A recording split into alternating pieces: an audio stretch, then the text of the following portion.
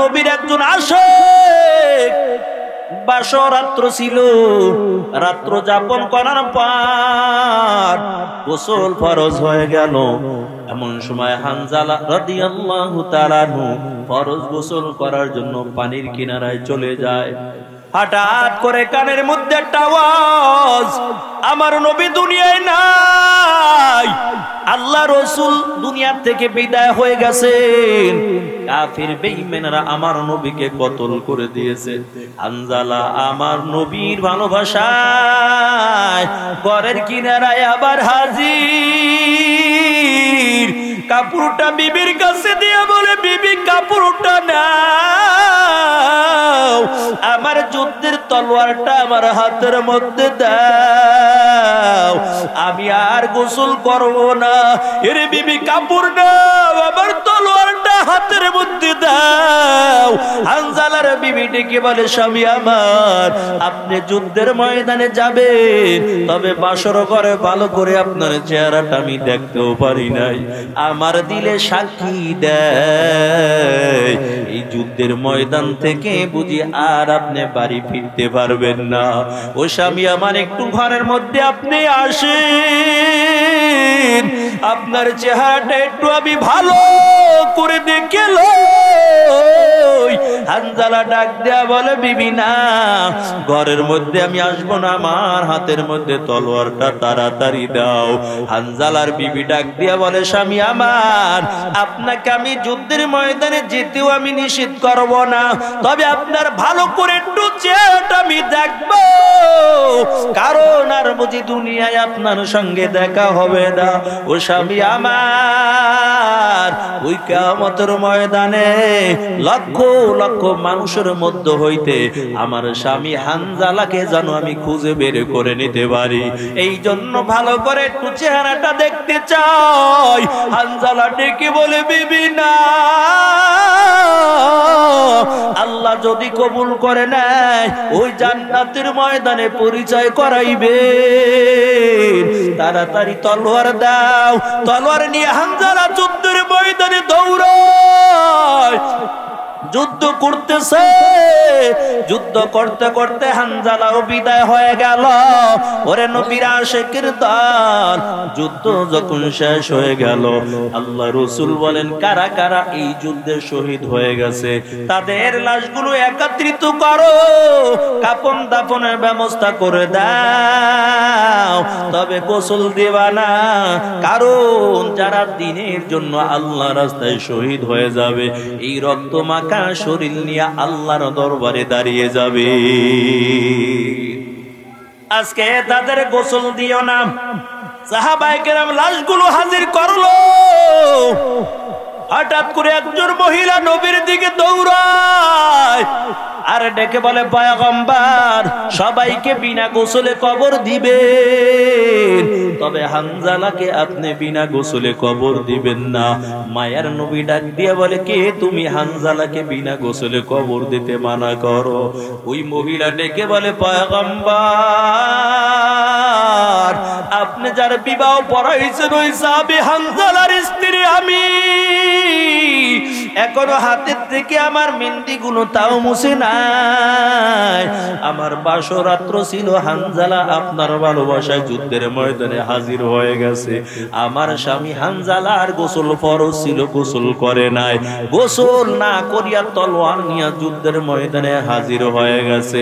মায়ার নবী সাহাবীদের ডেকে বলে, সাহাবায়ে কেরাম, শোনো, আমার হানজালার জন্য পানি গরম করো। পানি দিয়ে হানজালাকে গোসলের ব্যবস্থা করে দাও। এমন সময় সাহাবায়ে কেরাম পানি গরম করার জন্য যায়। এরে মুমিন মুসলমান আল্লাহর গোলাম, ওদিক থেকে হানজালার লাশটা ময়দানে খুঁজে। হানজালার লাশটা তো পায় না। বারবার খোঁজার পর হঠাৎ করে ময়দানে এক কোনার মধ্যে হানজালার লাশটা পড়ে আছে। জিব্রাইল আমিন আমার নবীর কাছে হাজির হয়ে গেছে। ও পয়গম্বর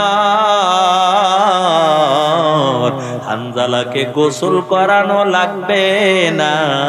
যে হানজালা দিনের জন্য আল্লাহর ভালোবাসায় আপনার মহাব্বতে পড়িয়া ফরজ গোসল না করিয়া যুদ্ধের ময়দানে হাজির হয়ে গেছে। ওই হানজালার গোসল দুনিয়ার কোন পানি দ্বারা হবে না। হানজালার গোসল আসমানে ফেরেজ তারা নিয়া, হাউজে কাউসারের পানি দিয়া তারপর হানজালার গোসল করিয়ে দিয়েছে। আশকারা মিল্লাত মজহব জুদাস আশকারা মিল্লাত মজহব খুদাস মিয়ানে আশিক রামজিস কিরামান কাতিবিন দাহান খবর নিস। এর নবীর উম্মতের তার আল্লাহ তাআলা কার কোন আমল কোন সময় কবুল করে নাই? একমাত্র আল্লাহই ভালো জানেন। তবে মালিকের কাছে কান্না করা লাগবে। গুনার জন্য মাপ চাইতে হবে। আয় আল্লাহ, আমার মতো গুনাগার কেউ নাই। আমি জমিনের মধ্যে বড় পাপি। তুমি আমার জীবনের গুণাগুলো মাফ করে দাও। এরে মমিন মুসলমান, যার ঘরের মধ্যে দিন থাকবে, দুনিয়ার মোহাব্বত উঠাইয়া দিবে। আল্লাহ রসুল বলেন, ওই ঘরের মধ্যে আল্লাহর শান্তি নাজিল হতে থাকবে। আজকে আমরা দোয়ার জন্য হুজুরের কাছে যাই, হুজুর দোয়া করেন কি হইছে? কয়, আমার ছেলে কথা শুনে না, বিবি কথা শুনে না, আমার জন্য একটু দোয়া করেন। কেমন করে আপনার বিবি কথা শুনবে? একমাত্র কারণ, আপনি তো দুনিয়াদার বিবি বিবাহ করেছেন। আপনি যদি দিনদার মেয়ে বিবাহ করে ঘরের মধ্যে আনতেন, আপনার শান্তির জন্য মাজারে যাওয়া লাগতে না, হুজুরের কাছে যাওয়া লাগতে না? আপনার শান্তির জন্য কান্না করা লাগতো না? আল্লাহ রহমত অটোমেটিক ভাবে আপনার ঘরে নাজিল হতে থাকত। আরে মমিন মুসলমান, আল্লাহর গোলাম, সমাজের মধ্যে থাকবেন অনেক বড় গরিব। টাকার মালিক নাই বাড়ি গাড়ির মালিক নাই, তারপর ঘরের মধ্যে শান্তি আছে, বিবির সঙ্গে ঝগড়া হয় না। আবার এমনও টাকাওয়ালা আছে, বড় টাকার মালিক, সম্পদের মালিক, চাকরিও করে সরকারি চাকরি। কিন্তু ওর ঘরের মধ্যে শান্তি নাই, ওর ঘরের মধ্যে ওর নিজের বিবি আর একজন আর মোটর সাইকেলে পিছনে বইয়া সরে। আর বউ হের কথা শুনে না, কেমন করে শুনবে? স্বামীও চাকরি করে, বিবিও চাকরি করে দোনোজনে বাম্পার কামায়। স্বামীর বেতন বিশ হাজার, বিবির বেতন তিরিশ হাজার। স্বামীর চেয়ে বিবির পাওয়ার বড় বেশি। একদিন স্বামী চিন্তা করে, কি ব্যাপার? আমার চাইতে বেতন হের বেশি। সংসারে কাজবার সব তো আমার করা লাগে একা। আমার বিবি অফিস থেকে আইসা আরামে ঘুমায়। আর রিমোটটা নিয়ে টিভি দেখে। বিবিকেও কিছু বলতেও পারি না বিবির পাওয়ার তো খুব বেশি দেখা যায়। স্বামী আর ঘরের কাজ বাজ করে না ডেকে বলে বিবি শুনো। এখন থেকে তুমি আমার খেদমত করবা। বিবি অফিস থেকে আসার পর মেজাজটা বড় গরম হয়ে গেল। ডাক দিয়া কয়, স্বামী আমার, ঘরটা কেন আজকে অগুছালো দেখা যায়? কেন ঘরটা আজকে গুছানো দেখা যায় না? স্বামী বেচারা ডেকে বলে, বিবি, গরম মেজাজে কথা বলবা না। স্বামীর সঙ্গে নরম ব্যবহার করবা। গরম মেজাজ দিয়া কথা বলবা না। স্বামীর পায়ের নিচে স্ত্রীর বেহেস্ত তুমি এখন থেকে আমার খেদমত করবা। বিবি ডাক দিয়া বলে, স্বামী আমার, কোন কোন হুজুরে ফতুয়া দিয়েছে? স্বামীর পায়ের নিচে স্ত্রীর বেহেস্ত আবার হুজুরের কাছে যাও, তোমার বেতন হলো বিশ হাজার, আমার বেতন হলো তিরিশ হাজার, তোমার যাইতে আমার পাওয়ার বেশি। তোমার ফান নিচে আমার জান্নাত না, আমার ফান নিচে তোমার জান্নাত? তোমার সে আমার বেতন বেশি স্বামী ডাক দিয়ে কই বিবি, এখন থেকে আমার খেদমত করব। আর চাকরি করার দরকার নাই। এমন সময় বিবি ডেকে বলে, স্বামী আমার, আমি তোমার খেদমত করতে পারব না। তোমার কথা অনুযায়ী আমি চলতে পারব না। এখন থেকে আমি নিজেরা পায়ে নিজে দাঁড়াবো। এরে মমিন মুসলমান, দুইজনার মধ্যে বড় ঝগড়া শুরু হয়ে গেল। স্বামী বাসারা কয়, বিবি আমার খেদমত করবা, রিজিকের ফয়সালা আল্লাহ করবে। পর্দার মধ্যে থাকবা, আল্লাহর হুকুমগুলো পালন করবা। বিবি বেচারা ডাক দিয়ে বলে, না না, আমি পর্দার মধ্যে থাকতে পারব না। আমাদের সমাজের মধ্যে কত মহিলাকে দেখা যায়, বেপর্দায় যাইয়া বাজারে যায়, অন্যের বাড়ি চলে যায়, রাস্তায় চলাফেরা করে। এরে পর্দার মা গো তার মতন ময়দানে ওই বেপর্দায় চলার কারণে তোমার বুকের মধ্যে আগুনের আংটা ঢুকাইয়া তারপর আগুনের মধ্যে জ্বালাবে। রাসূলুল্লাহ সাল্লাল্লাহু আলাইহি যখন মেরাজে গেলেন, নজর করে দেখতে পায়, একদল মহিলাদের মাথার মধ্যে আগুনের শিখগুলো ঢুকাইয়া, তারপর ফেরেশতারা ওই জাহান্নামে ফেরেশতারা আগুনের মধ্যে জ্বালায়। আল্লাহ রসুল ডেকে বলে জিব্রাহিম এই মহিলারা কারা? যাদের মাথার মধ্যে আগুনের শিখগুলো ঢুকানো হয়েছে। আল্লাহ রসুল কে? জিব্রাহিল বলে, পায়গম্বর এরা হইল ওই সমস্ত নারী যারা দুনিয়ার জমিনের মধ্যে মাতার কাপড়কে গলার মধ্যে ঝুলাইয়া তারপর হেঁটেছে। এরা হলো ওই সমস্ত নারী যাদের চুলগুলো বেগানা পুরুষকে দেখাইছে। আল্লাহ তাআলা আজকে এমন শাস্তির ব্যবস্থা করে রেখেছে। এরে পর্দার মাগ, তুমি মাতার চুলগুলো ছেড়ে দিয়ে বেগানা পুরুষের দিকে দেখাও। কেমতের ময়দানে আল্লাহর দরবারে দাঁড়াইয়া হিসাব দেওয়া লাগবে গো মা। ওদিক থেকে স্বামী বেচারা বলে, বিবি, তুমি আমার খেদমত করবা, চাকরির দরকার নাই। মহিলা কয়, না, আমি চাকরি করব, নিজের পায়ে নিচে দাঁড়াবো। হয়তো তোমার সংসার করব, না হয়তো চলে যাব।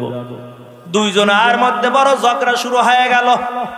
স্বামী বাসারা কয়, ঝগড়ার দরকার নাই। সকালবেলা তো আবার অফিস আছে, যেতে হবে। দনোজন গরম মেজাজ নিয়ে ঘুমাইতে গেছে। স্বামী কয়, বিবি মশারি টানাও বিবি কয়, আমি টানাইতে পারব না, মশারি তুমি টানাও।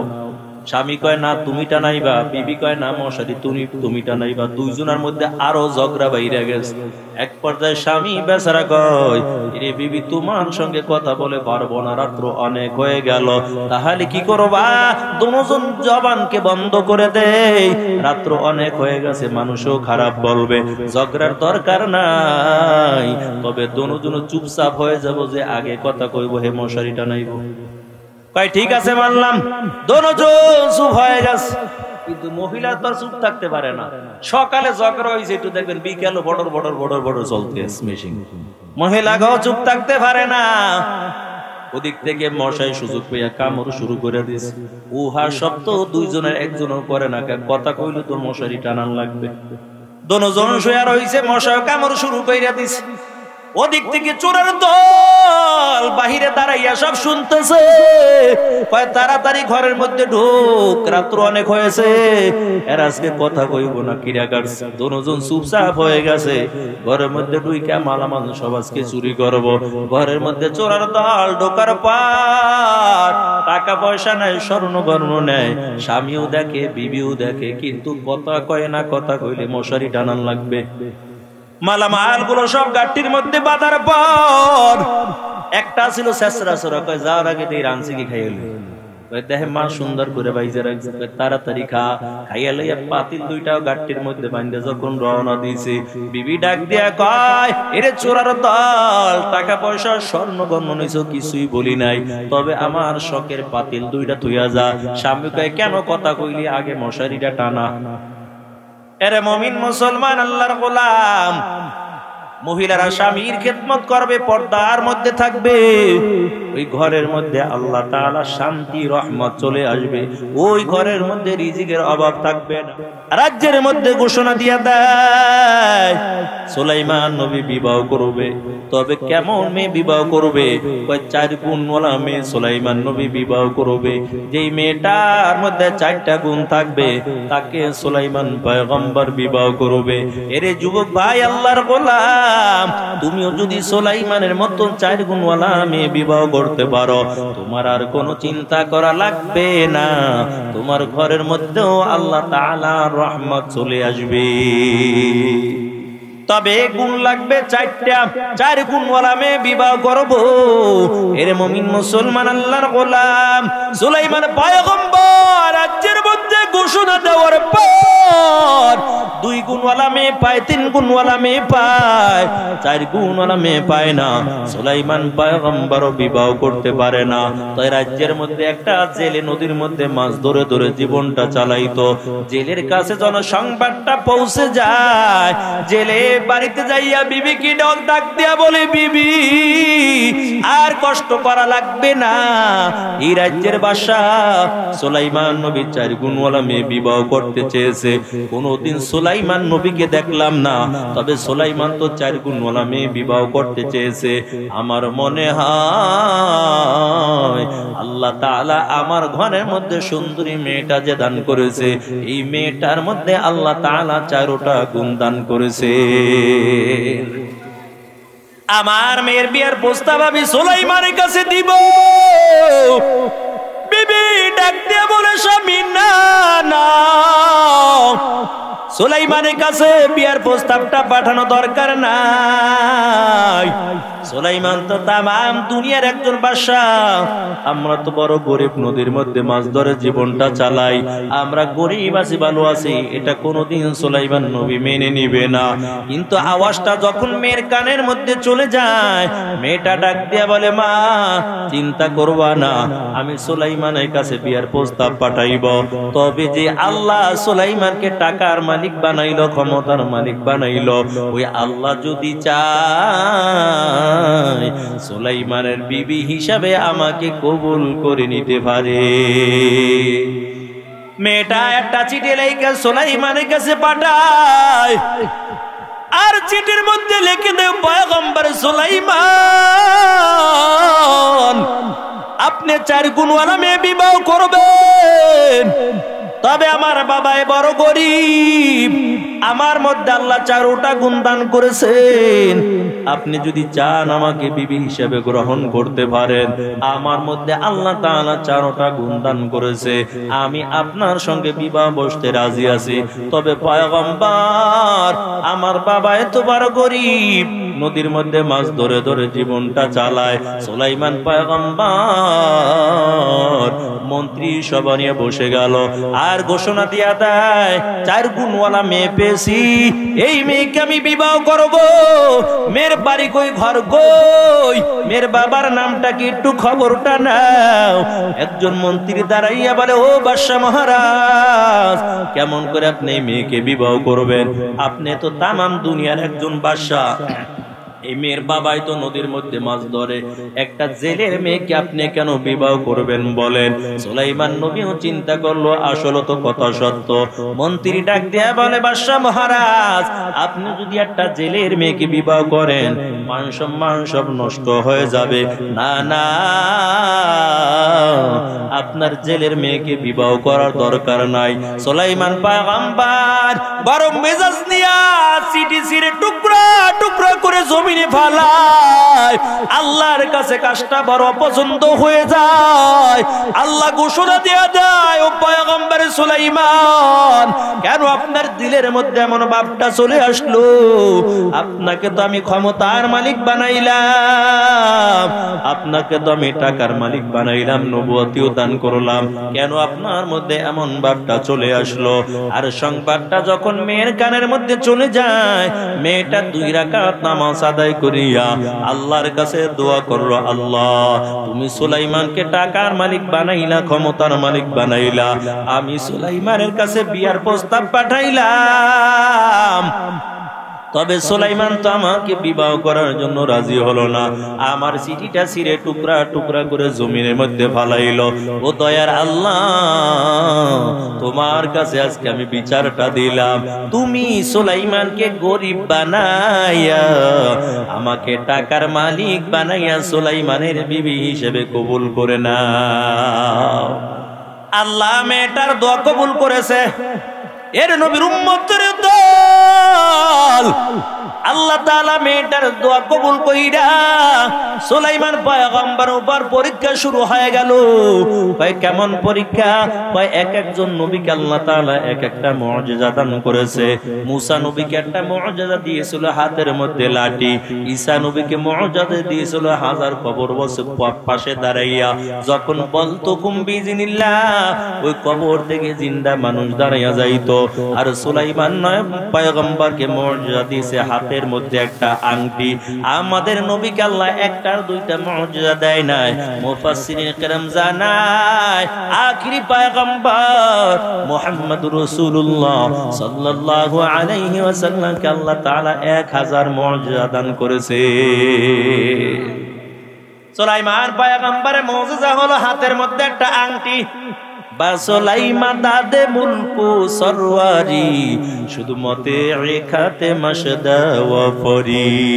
আংটিটা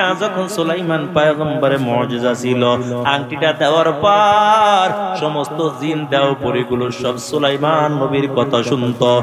এরে মুমিন মুসলমান আল্লাহর গোলাম, সুলাইমান পয়গম্বরের আংটির উপর আল্লাহ কিছু শর্ত লাগায়। তার মধ্যে একটা শর্ত, ও পয়গম্বর সুলাইমান সুলাইমান আংটি নিয়ে আপনি ওয়াশরুমে যেতে পারবেন না। বিশেষ বিশেষ কিছু শর্ত আল্লাহ তাআলা লাগাইয়া দেয়। সুলাইমান পয়গম্বর যখন ওয়াশরুমে যাইতো, আংটিটা একজন বিশ্বস্ত খাদেমের কাছে দিয়া তারপরে যাইতো।